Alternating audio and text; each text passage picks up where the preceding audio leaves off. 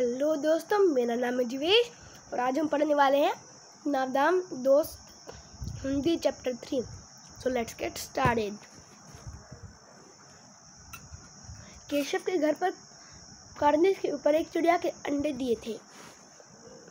केशव ने उसकी बहन, श्याम, श्यामा, दोनों बड़े ध्यान, दोनों बड़े ध्यान से चिड़िया को आते आते जाते देखा करते। सवेरे दोनों आँखें मलते कॉर्निश के सामने पहुँचे। जाते जाते चिड़िया और चिड़िया दोनों, चिड़ा और चिड़िया दोनों को वह बैठा पाया। कह रहे, केशव ना केशव को कॉर्निश के ऊपर एक चिड़िया के अंडे दिखे तो केशव ने अपनी बहन को बताया। तो वो दोनों बस उठे और आँखों पे लाइक आपको अभी दिखाता हूँ। आँखों को मलने लगे एक टाइप से। आँखों को मलना होता है। मतलब आँखों को रब करना। वेट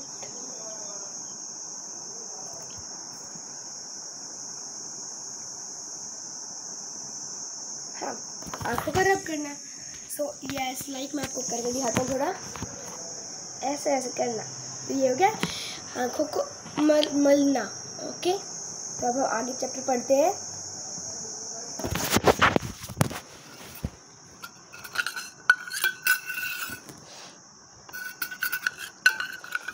और फिर बाद में उन्हें दोनों वहाँ बैठे पाए गए। दोनों वहाँ बैठे बैठे मिले कीड़ा और चिड़िया। हम्म उनको देखने में दोनों बच्चों को न मालूम कहाँ? क्या दिखाओ चिड़ा चिड़ी दोनों को वहाँ बैठा पाते। उन दोनों, उन दे, उनको देखने में दोनों को मालूम मालूम क्या मज़ा मिलता। दूध और जलेबी की सुधा भी न रहती थी। कह उन दोनों को देखने में उन्हें इतना अच्छा मज़ा लग रहा कि दूध और जलेबी भूल जाते।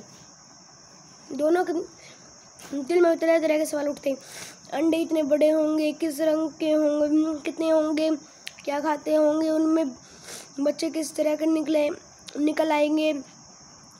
बच्चों के पैर बच्चों के पर कैसे निकलेंगे?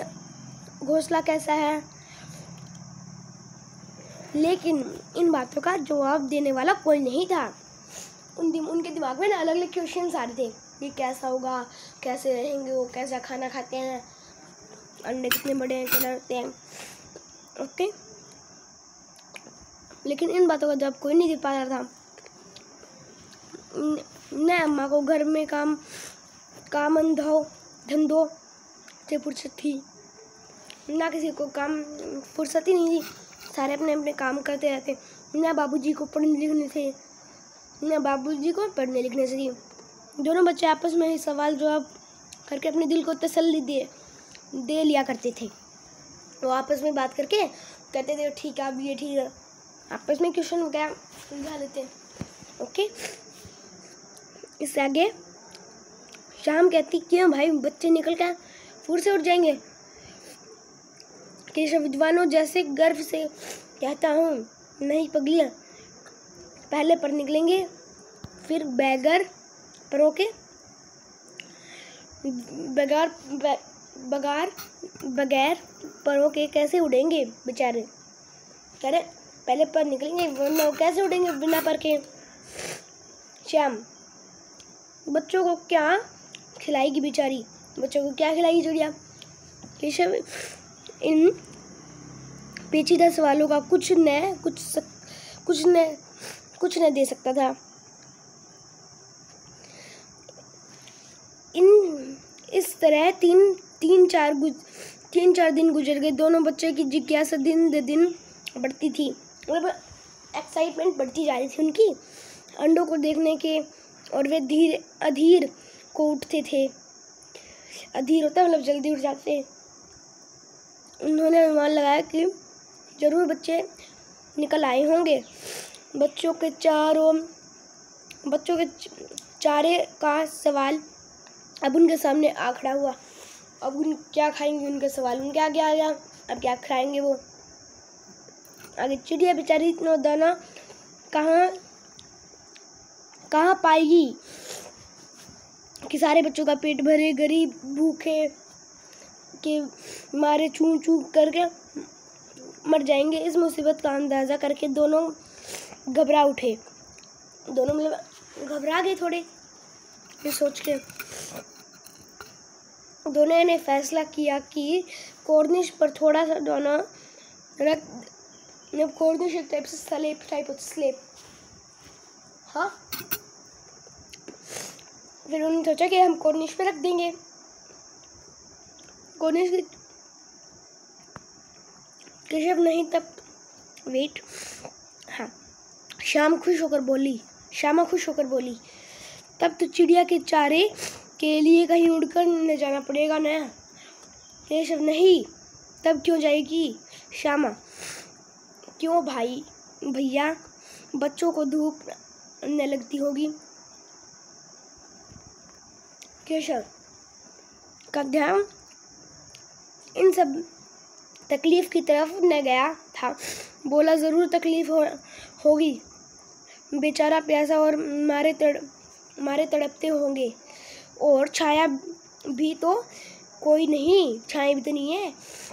आखिर आखिर कहीं फैसला हुआ कि घोंसले के ऊपर कपड़े की छत बनाई, छत बना दी, देनी चाहिए।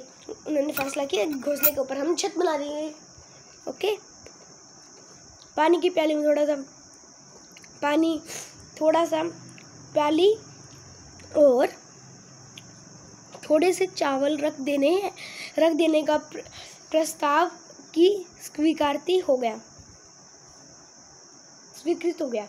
मतलब मान लिया गया। ग्रांट ग्रांटेड होगा। परमिशन ग्रांटेड दोनों बच्चे ने बड़े चाव से काम करने लगे। दोनों बच्चे बड़े चाव से करने लगे। श्यामा माँ की माँ की आँख बचाकर मटके से चावल निकाल लाई। केशव ने पत्थर की प्याली और तेल छुपके से ज़मीन पर गिरा गिरा दिया और खूब साफ़ करके उसमें पानी भरा। और चाँद जो चांदनी के लिए कपड़ा कहाँ से आया? कहाँ से आए? अब लेकिन छाया के लिए कपड़ा कहाँ से आएगा? फिर ऊपर बगैर छड़ियों के कपड़ा ठहरेगा कैसे? और छड़ियाँ होगी, छड़ियाँ खड़ी होगी कैसे? जैसे बड़ी देर तक हम इन उड़ेबदून उड़े उड़ेबदून में रहा। मतलब कि उड़ेबदून होता है, उलझन में। आखिरकार उसने यह मुश्किल भी हल कर दी। श्यामा श्यामा से बोला, जाकर कूड़ा कूड़ा फेंक, फेंकने वाले से टोकरी उठा लाओ। अम्मा जी को मत दिखाना, अम्मा को मत दिखाना। श्यामा, वह तो बीच से फटी हुई है। उसमें तो धूप न धूप न जाएगी। उसमें से धूप न जाएगी। केशव ने झुंझल झुंझाल झुंझाल कर कहा, तू टोकरी तो ला। वो कह इसमें तो धूप आ जाएगी। वो थोड़ा गुस्से में बोला, तू टोकरी तो ला ना। मैं उसका सुराख बंद कर दूँ, करने के लिए हिकमत निकालूँगा। मैं कुछ तरीका निकाल लूँगा। ये हो गया हमारा पार्ट वन अब हम करेंगे इसका नेक्स्ट पार्ट में। तो तब करती है बाय बाय अगर आपको वीडियो अच्छी लगी तो हमारे वीडियो को लाइक शेयर एंड सब्सक्राइब करना मत भूलना। Thank you